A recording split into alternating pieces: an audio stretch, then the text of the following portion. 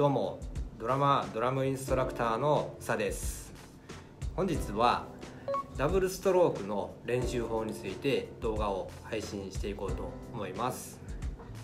えー、ダブルストロークは、えー、リバウンドを使うのですがこのリバウンドをうまく使えない方が非常に多いと思いますのでそちらを、えー、いい練習法というのがいくつかありますのでこれで、え皆さんもダブルストロークが上手にできるようになることを願っております。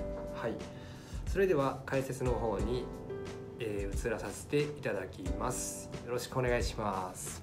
はい。それではダブルストロークの練習法について解説をしていきたいと思います。まず準備編としてスティックの持ち方ですね。これからやっていきましょうか。まず、えー、やってはならないことなんですけれども人差し指と親指で視点を作らないということですね。はい、ここ頼りになってしまうとリバウンドっていうものがねもう全然発生しなくなるんで、えー、この人差し指と親指だけに頼るということは、えー、やめましょう。視点はですね中指と親指で作る方がいいと思います。はい。こんな感じで視点を作ってで薬指小指人差し指を添えます。そして、えー、こうここですかね。ここにスティックをピタッとつけます。はい。そうするとホールドグリップという状態が完成します。はい。この状態でダブルストロークを、えー、打ちに行くのですがあここですね。ちょっと空間があるように意識しておいてください。はい。空間。ままあ見えるかなはい。こんな感じで空間が少しあります。この状態でホールドグリップっていうのを作っておきます。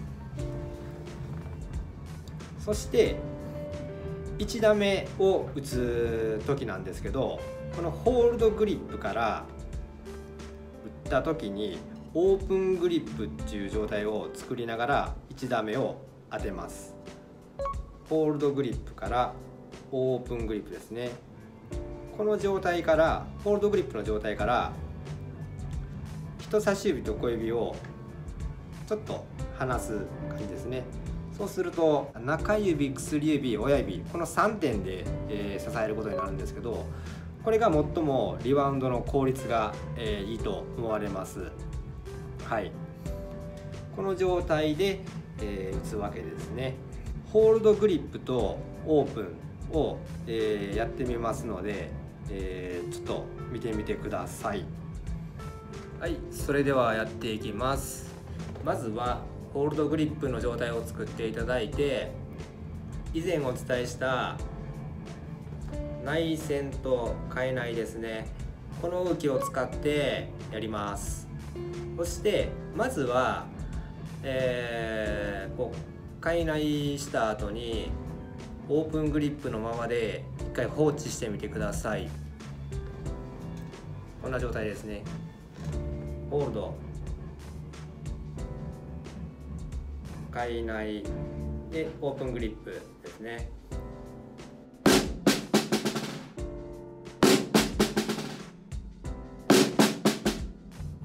内線もしっかり加えて内線海内ですね。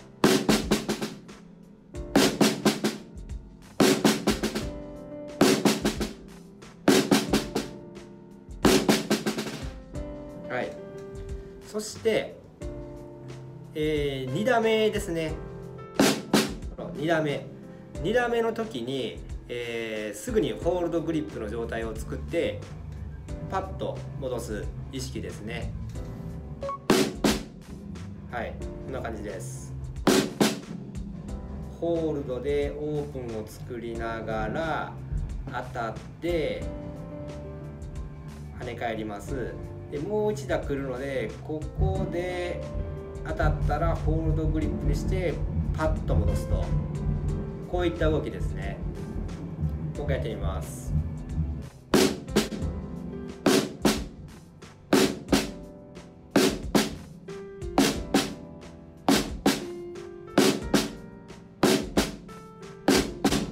はいこういう動きですね。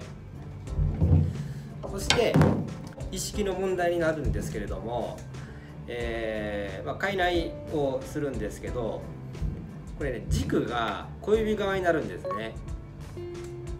小指側になってでこの回した時にこの小指側がもう上に行くんちゃうやろかっていうぐらいのとこまで、えー、ひねる気持ちでいきましょう。こうですね。あこの時は力は入れてないです。力を入れずに回す。でここまで実際いかんと思いますけども、えー、この状態を作る意識ですね。これやってもらうと分かるんですけどね。えっ、ー、とこの小指側を上げる時に最初にお伝えしたこの人差し指と親指にこうグーッと力入れてこっち側をやろうとすると結構しんどいんですよ。ここに力入ってるんでね。ここに力入ってるんでこういう動きをねすごくしづらくなるんですね。ただこの人差し指と親指をリラックスした状態で回すと簡単に回るんですね。はい。こんな感じで簡単に回るんでこの状態をね常に作っておきます。はい。これがとりあえずダブルストロークの、えー、まあ、下準備といいますか動きの根本となるところです。ホールドグリップという状態を作ってオープンをしながらここまで回す勢いでホールドで戻す。はい。こうした時にこの腕が張る状態があるんですけどここから力をパッて抜けばこっちに戻りたいというなんか動きが出てくるんですね。身長反射ということがあるんですけどゴムで伸ばされた状態がパッて離してこっちに戻りたくなるっていう現象があるんですけど、まあ、この性質をね、えー、利用しています。この状態がゴムでビーンって伸ばされた状態でここからパッて離すとはって戻っちゃう現象ですね。まあこの現象を、えー、うまいこと利用できれば、えー、ダブルストロークも疲れることなくスムーズに打てるかと思いますはいまあこれらを、えー、理解していただいてダブルストロークの、えー、エクササイズ的なものをですね、え、いくつかご紹介していきます。